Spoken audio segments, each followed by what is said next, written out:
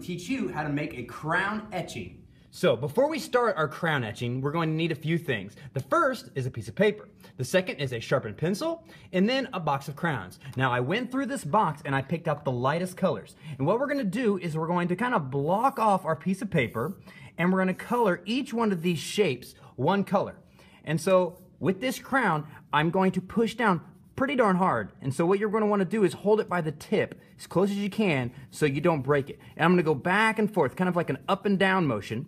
And I try to stay away from the corners because if you st start going really fast and you catch it, it's going to bend the paper and you don't want that. And so I'm going to go back and forth one way.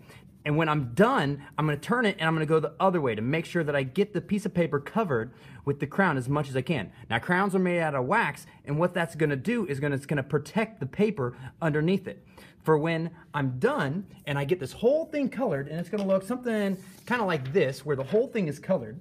I'm going to get my black crayon and then I'm gonna go on top of the color that I already laid and I'm gonna have to press really hard. You probably actually have to push harder with the black than you do the regular crayons because you're gonna wanna cover it up completely until it's completely black like this.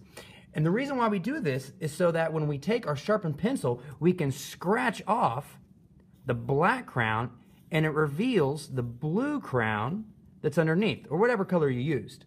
And now I can kind of go back and forth, and I can make different patterns on my crayon etching.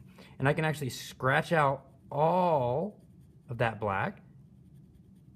This is kind of a checkered pattern, uh, an A, B, A, B, if you will. And I can do different patterns, or I could draw a person, I could draw myself, I could write words, kind of do whatever you want to do, but this is what a crayon etching is. And you can make really about anything. Um, I did a little Google search for uh, these things called Zentangles, and it'll give you different kind of patterns that you can do with your crayon etching. But um, kind of experiment, see what you can do. Remember, you got to push down really hard with the black in order for it to really give that pop, that contrast of like light and dark will really make yours, um, your crayon etching pop. Well, I hope you had fun making your crayon etching. Now remember, this can be kind of messy, so you might want to have your parents be supervising you. If you need help, be sure to ask them and bring your crayon etching to school the next time you come and show me what you made.